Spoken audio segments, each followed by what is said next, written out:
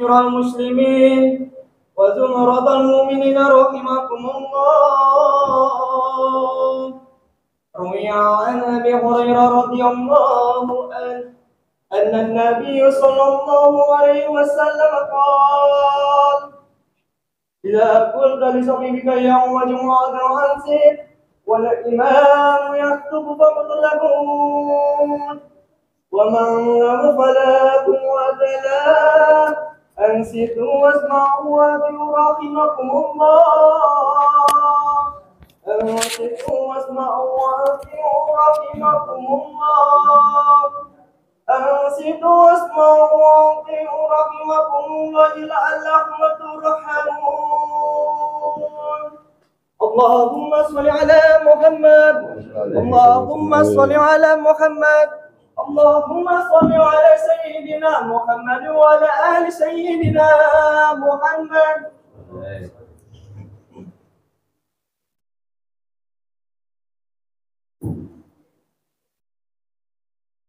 Assalamualaikum warahmatullahi wabarakatuh. Waalaikumsalam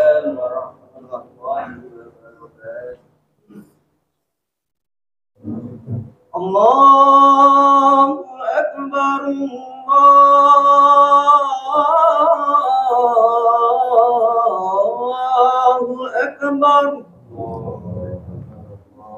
الله أكبر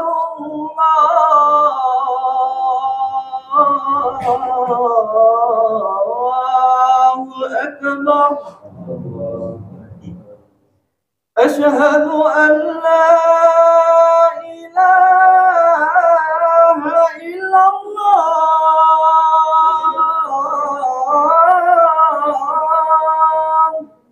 أشهد أن لا إله أشهد أن لا إله إلا الله. أشهد أن لا إله إلا الله. أشهد أن محمد رسول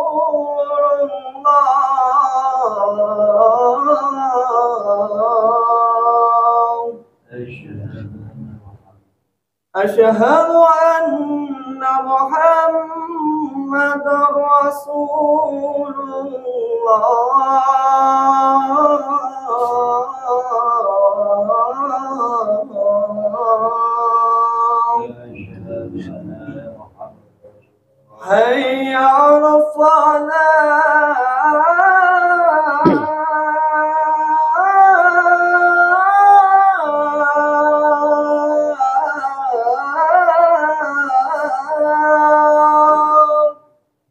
Haula wala quwata illa billah.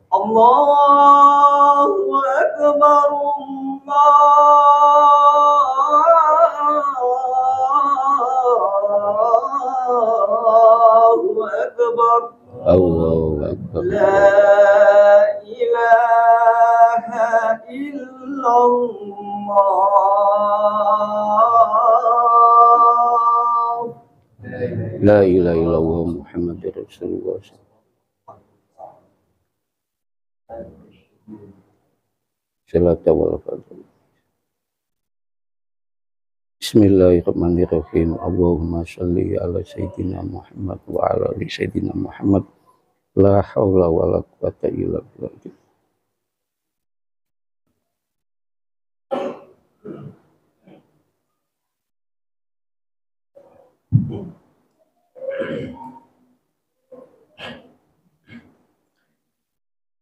Alhamdulillah. Alhamdulillahilladzi arsala rasulahu bil huda wa dinil haqq liyudhirahu ala dini kulli wa kafa billahi syahida Ashhadu an la ilaha illallah wahdahu la syarikalah wa ashhadu anna sayyidana Muhammadan abduhu wa rasuluhu la nabiyya ba'da. Allahumma salli wa sallim wa barik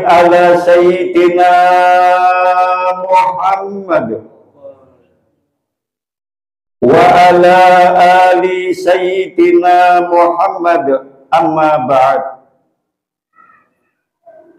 Faya ayyuhal muslimun rahimakumullah ittaqullah ittaqullah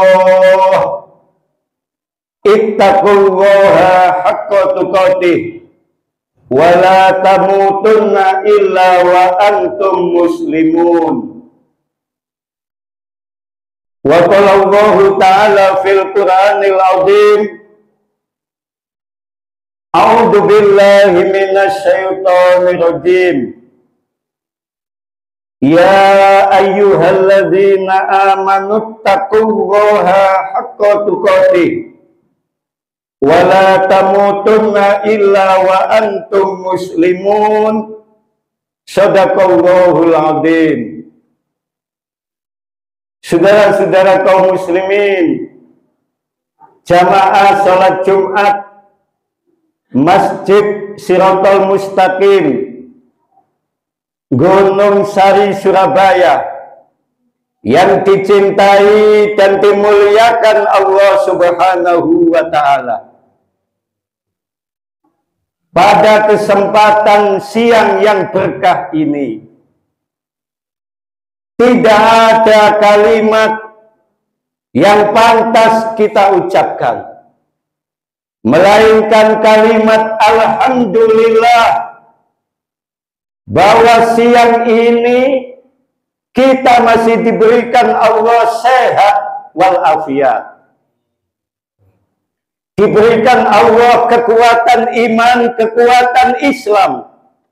Sehingga kita masih diberikan hidayah untuk melangkahkan kaki, ayunkan tangan menuju masjid yang kita cintai ini di dalam rangka menunaikan ibadah sholat Jumat meskipun di tengah-tengah kesibukan kita siang ini.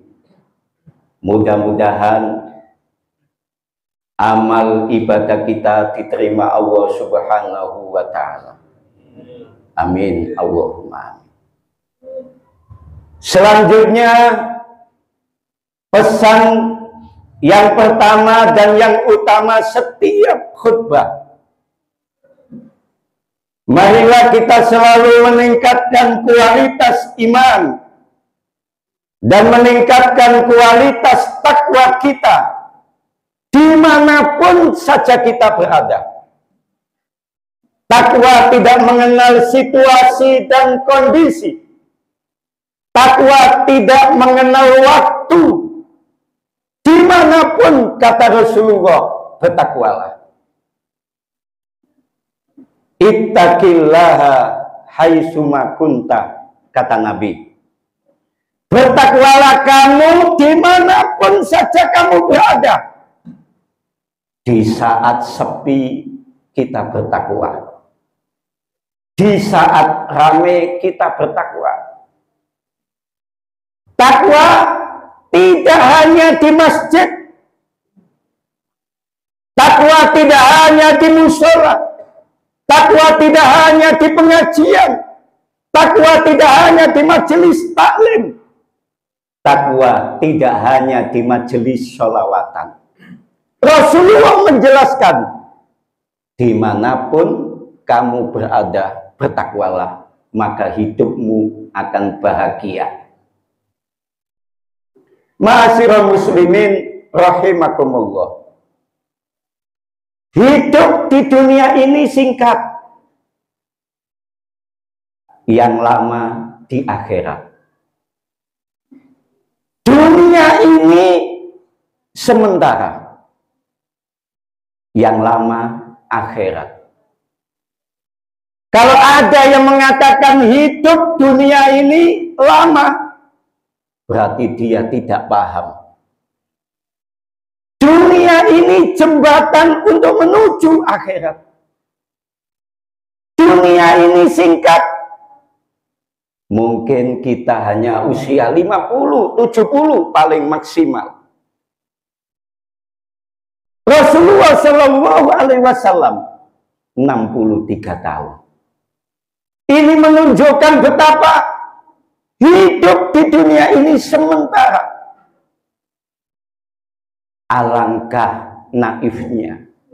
Kalau hidup yang sementara ini tidak kita gunakan untuk kebaikan, tidak kita gunakan untuk berbuat kebaikan, dan tidak kita gunakan untuk memperbanyak amal soleh.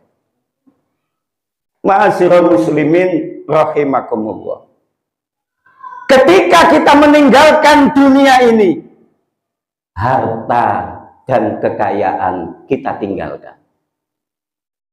Ketika kita menghadap Allah, pangkat dan jabatan kita tinggalkan.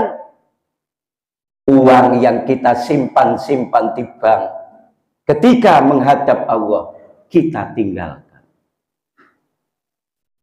Rasulullah menjelaskan ada tiga amalan yang kalau kita laksanakan tidak akan putus-putus pahalanya ketika kita meninggal dunia. Apa tiga amalan itu kata Rasulullah? Ma'asyiral muslimin rahimakumullah. Rasulullah menjelaskan Idza matabnu adama in qata'a amalu ila min salasin. Ketika anak cucu Adam, ketika manusia meninggal dunia, semua amal ibadahnya putus. Semua amalnya putus. Ila min salasin. Kecuali tiga amal. Jika dilaksanakan tidak akan putus-putus meskipun dia meninggal dunia.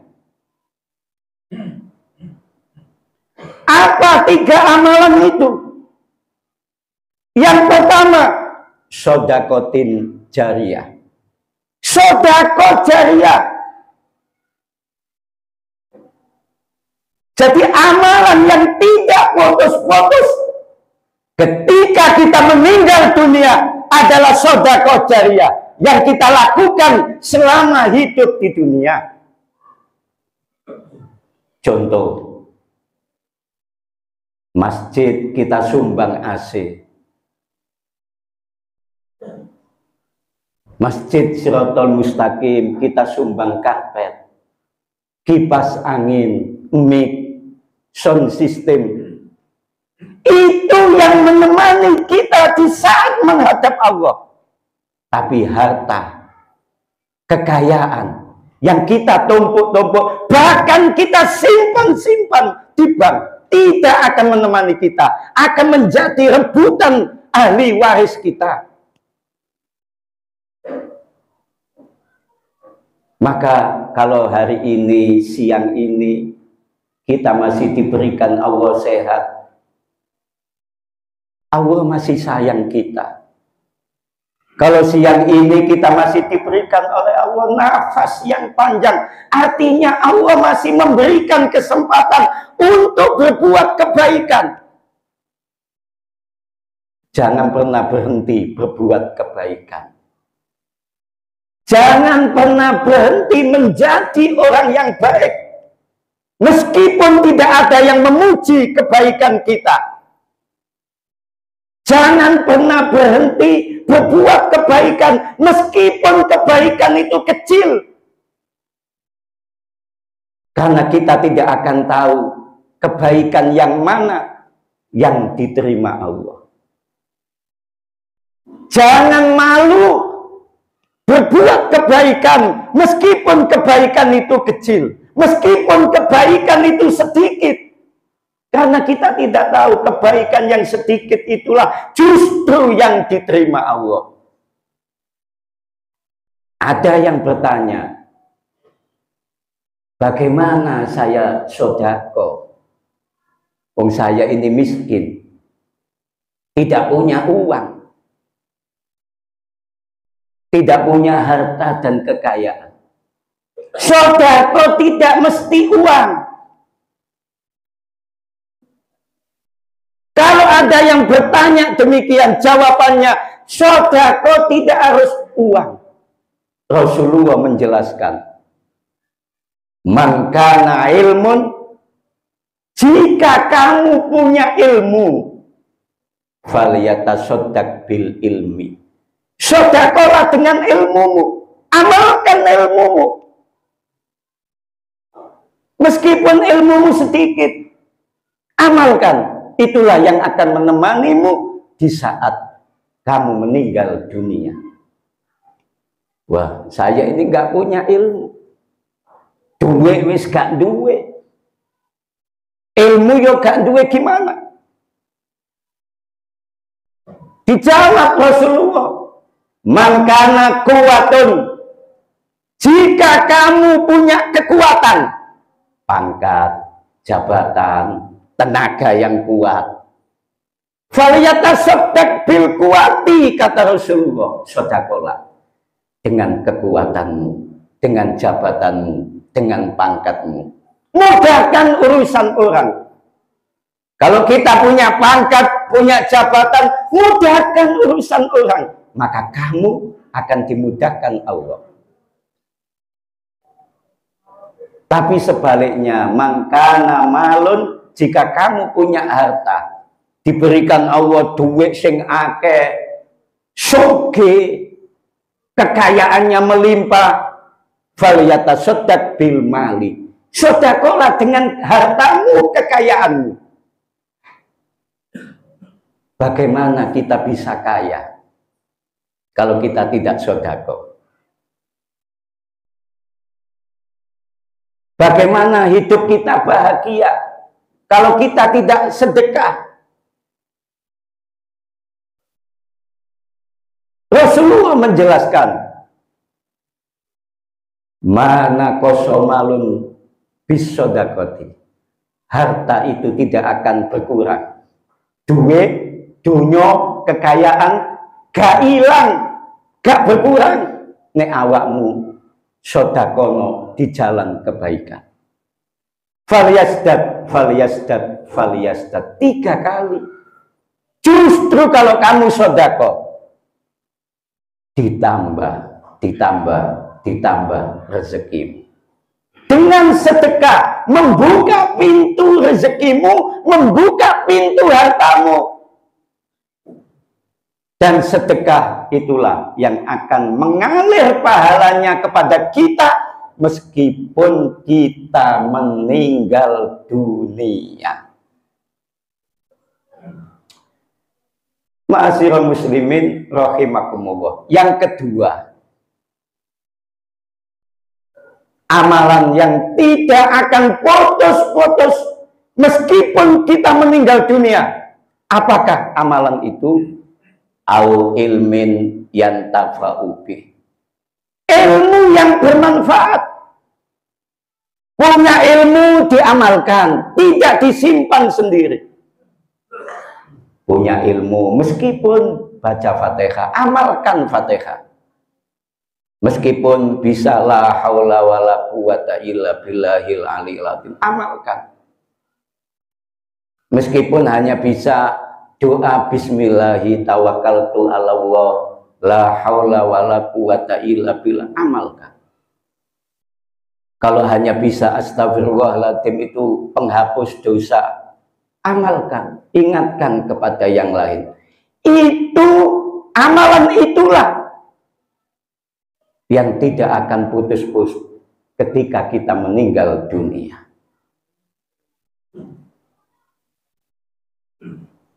Yang terakhir, yang ketiga, amalan yang kalau kita lakukan tidak akan putus-putus pahalanya. Jikalau kita meninggal dunia, apakah amalan itu? Rasulullah menjelaskan waladun soleh anak yang soleh dan solihah yada'ula yang mendoakan kedua orang tuanya apa pun posisi kita, apa pun kedudukan kita, apa pun jabatan kita, jangan sampai melupakan kedua orang tua kita. Kita bisa seperti saat ini, jasa kedua orang tua kita. Kadang anak nyambut gawe enak, lali ambek wong tua. Gak tahu silaturahim nang wong tua. duwe penggawean enak titik wis gak tahu mulai nang wong tua. Bagaimana hidupnya bisa berkah? Oke, pekerjaannya enak. Di perusahaan ternama. Gajinya 10 juta per bulan, bahkan 20-25 juta per bulan. Tapi kalau durhaka, lupa kepada kedua orang tua, hidupnya nggak berkah. Wis ayalangan. Yang sakit, yang anaknya rusak dan lain sebagainya. Itu namanya tidak berkah. Berkah adalah ziyadatul khair. Tambahan-tambahan nikmat. Itu yang kita cari saat ini. Oleh berkah itu angel. Dan itu saat ini yang kita cari. Hidup yang berkah. Apa artinya? punya harta banyak, tapi hidup kita nggak bahagia. Kita punya pangkat dan jabatan, tapi hidup kita tetap nggak tenang, nggak berkah. Tidak ada artinya. Maka Rasulullah menjelaskan amalan yang tidak akan putus-putus pahalanya jika kita melaksanakannya adalah jadilah anak yang soleh yang taat kepada orang tua dan mau mendoakan kedua orang tua. Setiap sholat kita doakan Allahumma firli dunubi wali wali daya warhamhuma kama rabbayani shohira. Ya Allah, ampuni dosaku, ampuni dosa kedua orang tuaku ya Allah. Sayangilah mereka sebagaimana mereka menyayangi kami sejak kecil. Orang tua tidak ingin dibalas jasanya. Gak mampu sebagai anak membalas jasa kedua orang tua kita. Berapapun kekayaan yang kita miliki, setinggi apa pun jabatan, pangkat dan kedudukan yang kita sandang saat ini, tidak akan bisa membalas jasa kedua orang tua kita kecuali mendoakan. Bahkan orang tua kita tidak mau dibalas. Hanya doa yang ditunggu kedua orang tua kita di saat sakaratul maut. Bacaan Yasin anak-anaknya yang ditunggu di saat orang tua sakaratul maut. Wong tua gak njaluk apa. Sing diinteni wong tua nang anak dongane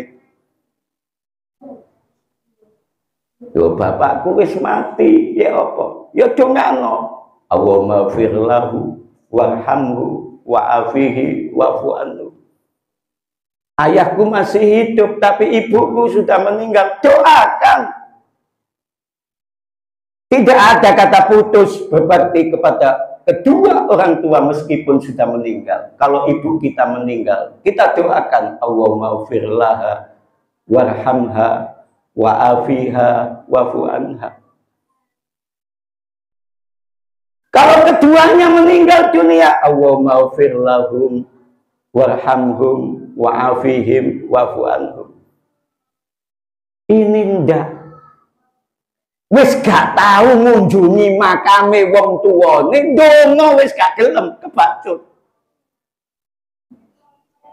dongano wis gak gelem. Apa maneh ziarah nang makam wong tuwane sing alasan sibuk sing alasan bekerja sing gak sempat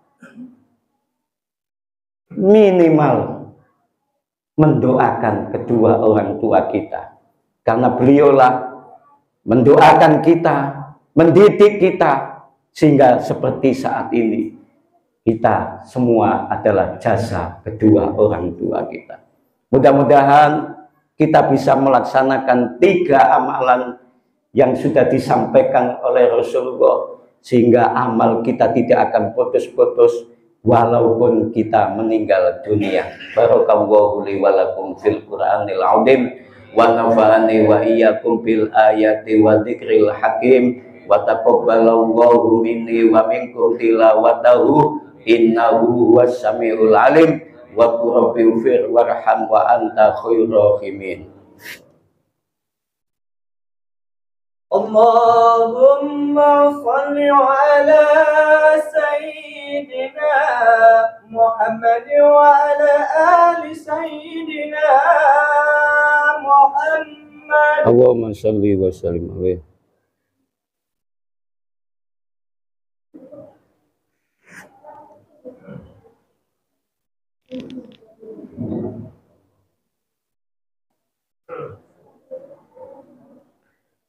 Alhamdulillah. Alhamdulillahi Rabbil Alamin. Wassalatu wassalamu ala asrafil anbiya'i wal mursalin. Sayyidina wa maulana Muhammadin wa ala alihi wa sahbihi ajma'in. Ashhadu an la ilaha illallah wahdahu la syarikalah wa ashhadu anna sayyidana Muhammadan abduhu wa rasuluhu la nabiyya Allahumma salli wa sallim wa barik ala sayyidina Muhammad wa ala ali sayyidina Muhammad. Amma ba'du. Faya ayyuhal muslimun rahimakumullah. Ittaqullah ittaqullah. Ittaqullaha haqqa tuqatih. Wa la tamutunna illa wa antum muslimun. Wa qala Allah ta'ala fil Qur'anil azim. A'udzu billahi minasy syaithanir rajim.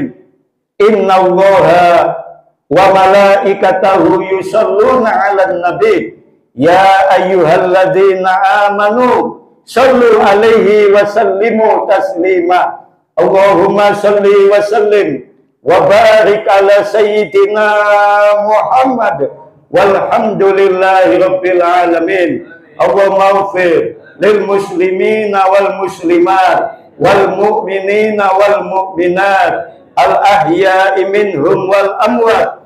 Innaka sami'un qaribun mujibud da'wat. Rabbana hab lana min azwajina wa dhurriyyatina qurrata ayun waj'alna lil muttaqina imama. Rabbi habli minas salihin.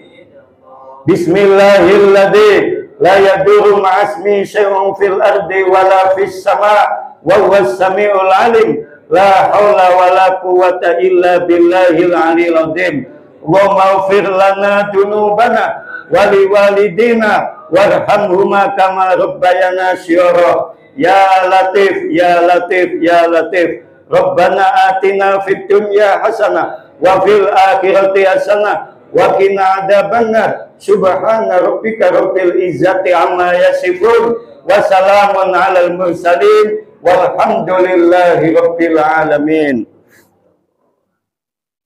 Ibadallah Inna allaha yamur bi adli wal ihsan wa ita'i dzil qurba wa yanha 'anil fahsya'i wal munkar wal bahya idukum la'allakum tadakkarun wala dzikrullahi akbar. Aqimus sholat